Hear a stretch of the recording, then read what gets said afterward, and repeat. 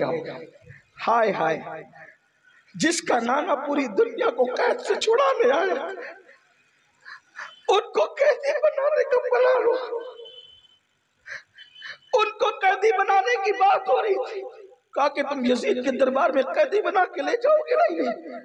मर जाएँगे, पानी नहीं पिएँगे, खाना नहीं खाएँगे। कुछ पानी तो पिलाओ। कम से कम यजीद के दरबार तक जाने की इनके अंदर ताकत आ जाए, उतनी उतना पानी तो पिलाओ। बीबी, मैं तुम्हारे लिए ठंडा पानी लेकर के आई ये लो पानी।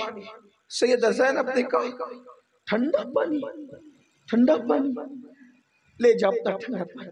हमें ठंडे पानी के नाम से भी आज नफरत है। ये पानी तू उस वक्त तो क्यों ना लाई?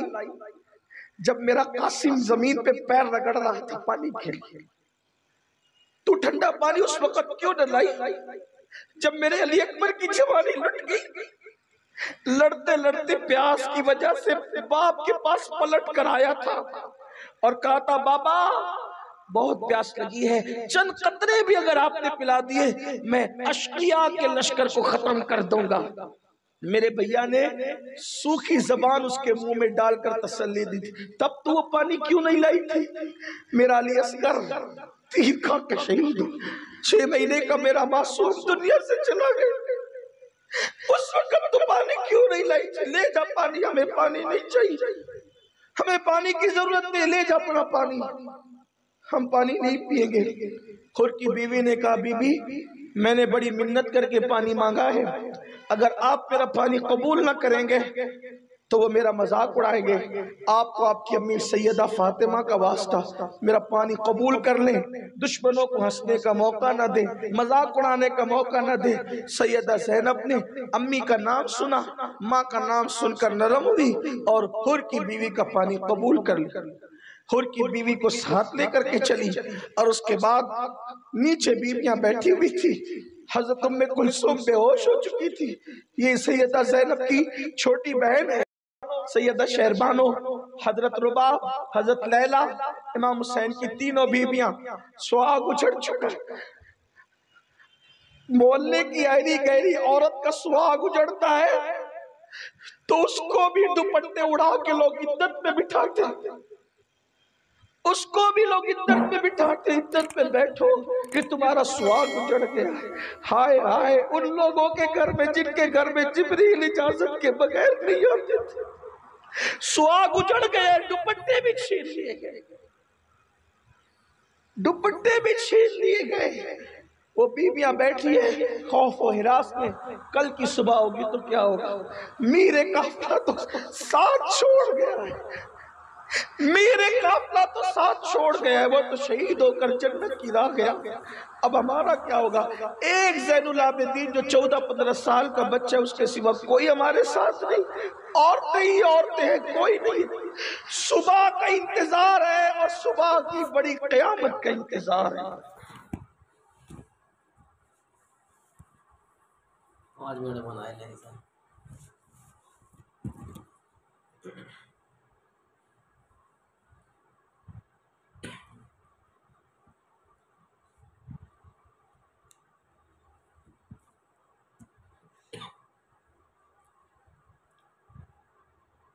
था सैयदा जैनब।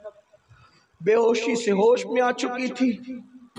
बीबी जैनब ने कहा, सकीना से, शहजादी सकीना से, के, बेटे, लो पानी पी लो।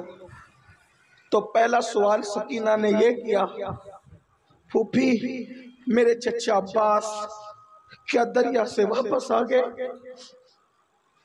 इसलिए कि सकीना का सवाल इसलिए था कि फुरात पर पानी लाने के लिए हज़रत अब्बास गए थे। मगर हो गई थी हज़रत अब्बास की शहादत। तो शहादत के वक्त सराहने से इमाम हुसैन बैठे थे। इमाम हुसैन हज़रत अब्बास के चेहरे पे हाथ फेर रहे थे। गाजी अब्बास ने आँखें खोली।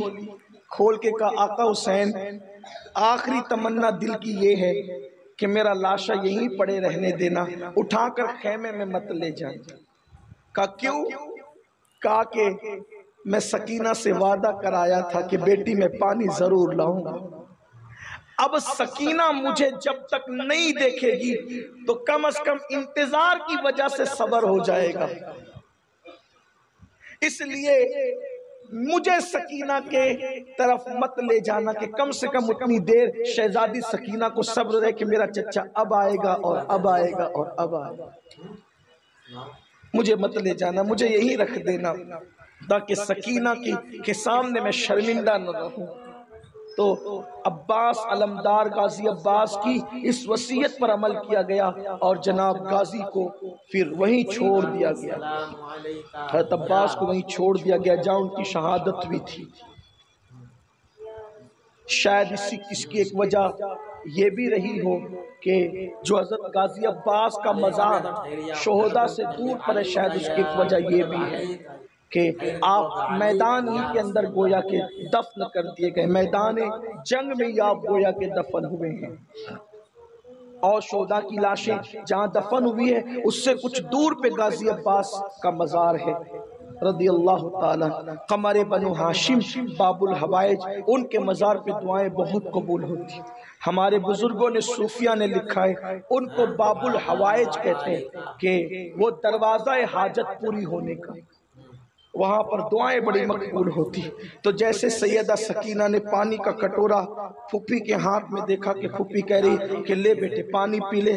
तो कहा कि, फूफी, मेरे चचा गाजी अब्बास फुरात से वापस आ गए। बीबियों के जख्म फिर से हरे हो गए। बीबियाँ रोने लगी। इसलिए कि बच्चे तो सादगी में बातें कर रहे हैं, लेकिन उनके नश्तर हरे होते जाते हैं। सैयदा सकीना को कहा, नहीं बेटे, तेरा चचा वहाँ गया है, जहाँ से फिर कोई वापस पलट करके नहीं लाता। अब तेरा पास कभी वापस नहीं आएगा। हुर की बीवी पानी लाई है, लो पानी पी लो। फिर दूसरा सवाल सकीना ने किया फूफी आप लोगों ने पानी पी लिया। सैदा ने कहा नहीं बेटे, इसलिए कि नाना की सुन्नत है कि जब खाने पीने की चीज़ आए तो पहले छोटों को खिलाओ, पिलाओ फिर बाद में बड़े खाएँगे, पिएँगे।